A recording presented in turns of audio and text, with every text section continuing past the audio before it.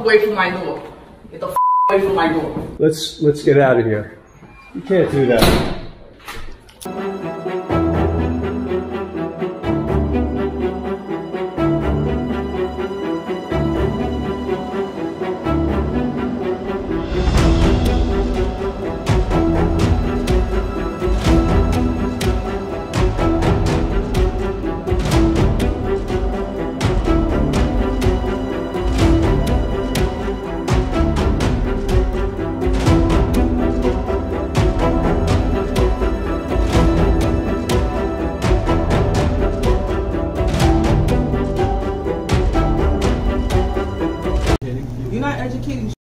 This is propaganda.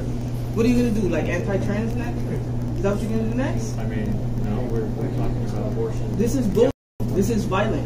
You're triggering my students. Oh, I'm sorry about that. You're, no, you're not, because you I'm can't sorry, even I- have a baby. So you don't even know what that is. You don't even know what this is. Get this out of here,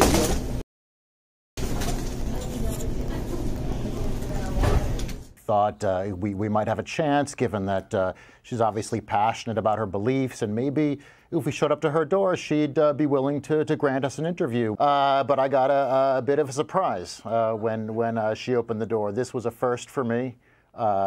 She first verbally threatened to, to chop us up with the machete and then proceeded to come uh, out of her apartment brandishing the blade and, and pressing, pressing it against the side of my neck uh, for about a second, uh, and and then she, I guess, realized she was being recorded and went back inside.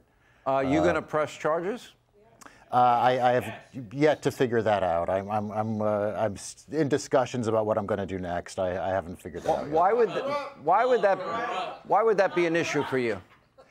You know, I because to be honest, I, uh, this is my first time ever being in a situation where I've been asked whether or not I would ever press. I've never pressed charges before or even asked. So I'm still sort of wrapping my head around all of this. And A professor caught on tape cursing out a group of pro life students, even physically trashing their display. The college putting out a statement saying, quote, Hunter College strongly condemns, no kidding, the unacceptable actions of Shellyne Rodriguez and has taken immediate action. Rodriguez has been relieved of her duties at Hunter College, effective immediately, will not be returning to teach at the school. To us, there is no greater duty than reporting the truth and fighting back against the corrupt corporate news narratives that are poisoning our country. For us to continue to be the largest independent creator of no nonsense, objective, conservative news content on the web, we need your help. The help of you and patriots exactly like you. We can do this.